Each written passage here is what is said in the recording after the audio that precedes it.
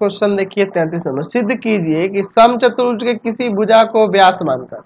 चलिए, आपका एक सम चतुर्भुज हो गया ए बी सी डी सम चतुर्भुज के किसी भी भुजा, इस भुजा को व्यास मानकर अगर हम लोग वृत्त खींचे तो वृत्त सम चतुर्भुज के विकर्णों के प्रतिच्छेद बिंदु से, विकर्णों का प्रतिच्छेद बिंदु, वो मान लेते हैं यहाँ पर इससे होकर यह जा रहा है। तो यहाँ पे मान लेते हैं, माना माना ए बी सी डी एक। सम चतुर्भुज है। सम चतुर्भुज है। सम चतुर्भुज है। सम चतुर्भुज है। और विकर्ण विकर्ण एसी तथा बीडी का प्रतिच्छेद बिंदु प्रतिच्छेद बिंदु ओ है। प्रतिच्छेद बिंदु ओ है। ठीक है? अच्छा देखिए, हम, यहाँ लिख सकते हैं कि हम जानते हैं हम जानते हैं कि वृत्त के वृत्त के विकर्ण वृत्त पर समकोण बनाते हैं। समकोण बनाते हैं। और यह भी जानते हैं यह भी जानते हैं तथा यह भी जानते हैं कि आ, क्या है? सम चतुर्भुज है ना? सम चतुर्भुज के सम चतुर्भुज के विकर्ण।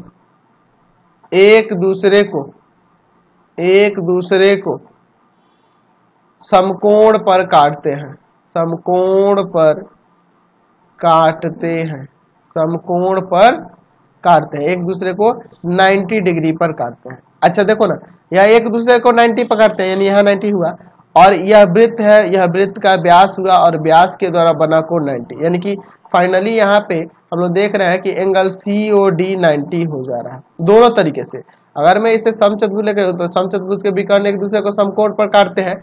और अगर इस वृत्त को देखूँ तो वृत्त का यह व्यास जो है, वृत्त पर समकोण बनाता है। तो यहाँ नब्बे बनाता है और एक दूसरे का प्रतिच्छेद बिंदु भी नब्बे है। अतः यहाँ कह सकते हैं, अतः यहाँ कह सकते हैं कि कि यहाँ पे यहाँ पे हम लोग कह सकते हैं कि सम चतुर्भुज के, सम चतुर्भुज के, सम चतुर्भुज के, सम चतुर्भुज के किसी भी किसी भी भुजा को भुजा को व्यास मानकर व्यास मानकर खींचा गया वृत्त, खींचा गया वृत्त।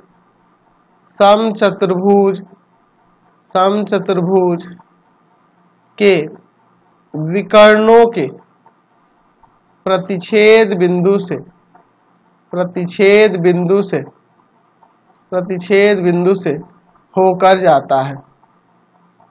होकर जाता है, होकर जाता है। चलते हैं नेक्स्ट क्वेश्चन की ओर। चलिए अगला क्वेश्चन देखते हैं।